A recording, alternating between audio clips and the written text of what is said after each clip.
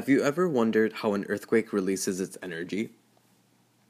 Since an earthquake is a phenomenon that occurs at a certain point on the Earth's crust, it releases its energy as seismic waves that travel through the Earth's inner layers in the form of high frequency acoustic energy.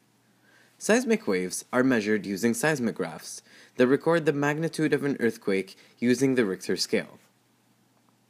There are two main types of seismic waves body waves, and surface waves. Body waves can travel through the inner layers of the Earth, which allows them to arrive before surface waves emitted by the same earthquake, because they have a higher frequency. Surface waves, on the other hand, can only move along the Earth's surface in its outer crust. They have lower frequency than body waves and are therefore easily distinguished on a seismograph. Even though surface waves arrive after body waves, they are responsible for most of the damage associated with earthquakes. In deeper earthquakes, though, the damage and strength of these surface waves is reduced significantly. When an earthquake occurs with enough frequency or hertz and reaches a building, it sets the building in motion, starting with the foundation and then vibrating the rest of the structure. When studying the effect on the building itself, it is important to take note of the ground in which the building is set, the foundation that was used for the structure, and the magnitude of the earthquake. Taller buildings tend to shake longer than short buildings, which can make them relatively more susceptible to damage.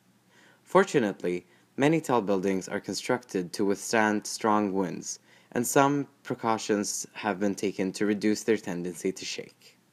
For our first experiment, we wanted to examine the effects of an earthquake on different structures based on their heights. We began the experiment by constructing a box, then filled it with soil to represent the Earth's surface, and used different sized sticks to see how a constant force would affect different building heights.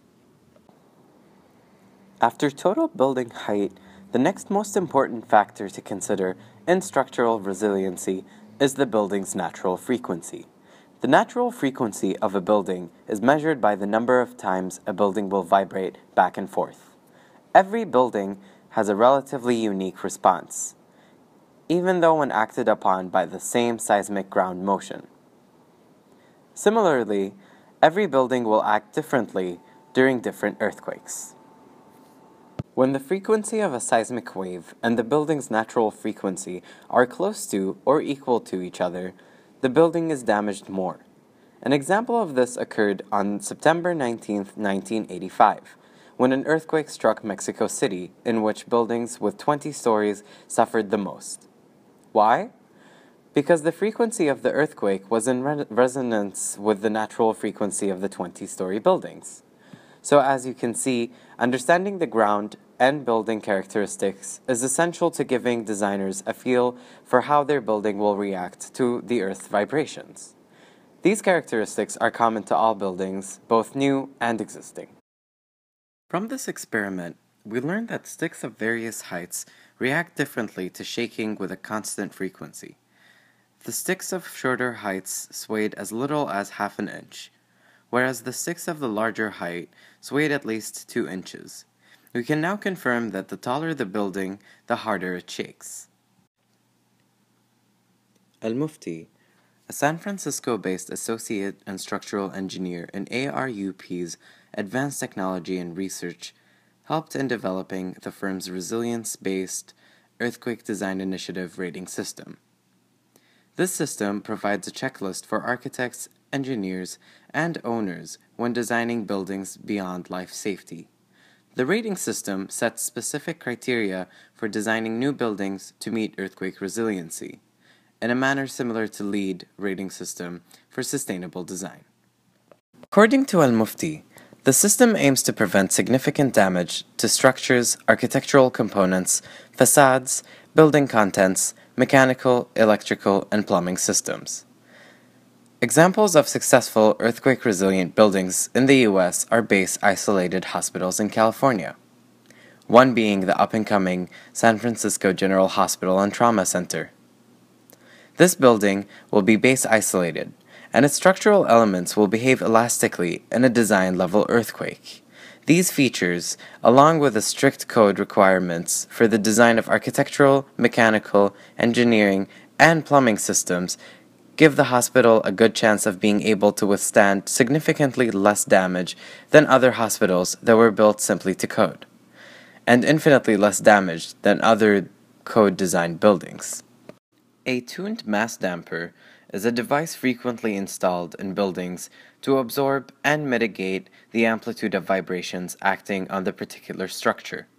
They play a crucial role in all related areas, from ensuring occupant comfort to preventing structural failure.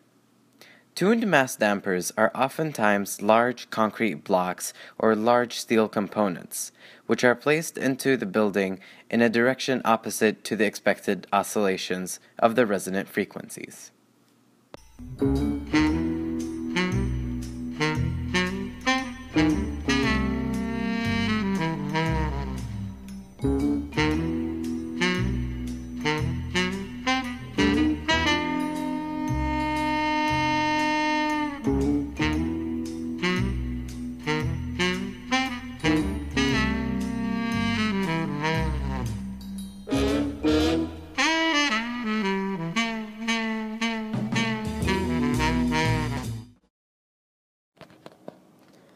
For our second experiment, we decided to examine how a tuned mass damper operates. The experiment failed due to many factors, but the most important were 1. A mass damper needs to be suspended by springs in order for it to sway in its chamber and counteract the building's natural oscillation. And 2. The chamber in which the mass is suspended must have a regulated atmosphere so that the air pressure affects the motion of the mass within the chamber. In our experiment, we used an open frame which irregulated the atmosphere around the suspended mass and used rigid springs for suspension, which hinders the function of the suspended mass as a damper.